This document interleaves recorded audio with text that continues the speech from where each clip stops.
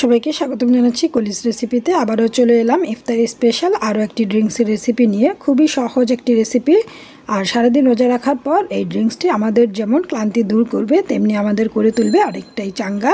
আশা করছি আজকের এই ড্রিঙ্কসের রেসিপিটি সবার খুবই ভালো লাগবে। তাহলে চলুন রেসিপিটি দেখে নিই।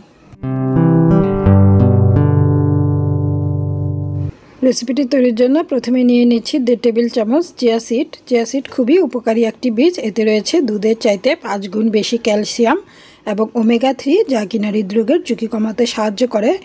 এছাড়াও ওজন কমাতে চিয়া সিডে রয়েছে জাদুকরী ভূমিকা। যারা রোজায় ওজন কমাতে চান, তারা এই ড্রিঙ্কসটি প্রতিদিন ইফতারে রাখতে পারেন।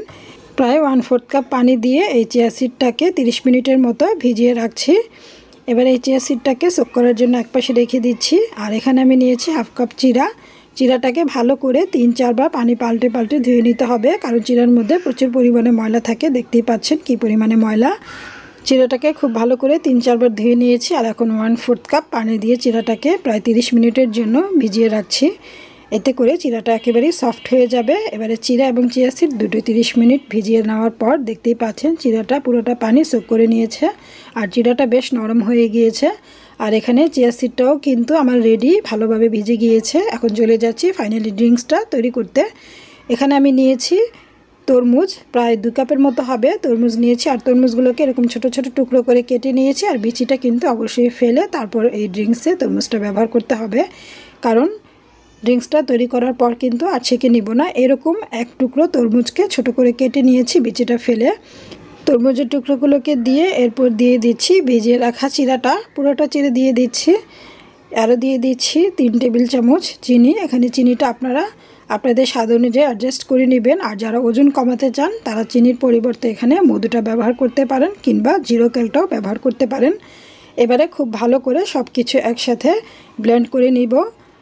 কোনো রকম পানি ছাড়াই কিন্তু এটা ব্লেন্ড করে নিতে হবে। কারণ তরমুজে প্রচুর পরিমাণে পানি রয়েছে। পানি দিলে কিন্তু ড্রিঙ্কসটা অনেক বেশি পাতলা হয়ে যাবে। তাই কোনো রকম পানি দেওয়ার কোনোই প্রয়োজন নেই। প্রায় এক মিনিটের মতো ব্লেন্ড করে নিয়েছে। আর দেখতেই পাচ্ছেন খুব সুন্দরভাবে সব কিছু ব্লেন্ড হয়ে গিয়েছে। আর প্রচুর পরিমাণে পানি বের হয়েছে। তরমুজ থেকে এক্সট্রা কোনো পানি অ্যাড করার প্রয়োজন নেই। এখন আমি ড্রিঙ্কসটাকে দুটো গ্লাসে ঢেলে নিচ্ছি। আর যতটুকু উপকরণ নিয়েছি, এতে করে তিন গ্লাস ড্রিঙ্কস হবে।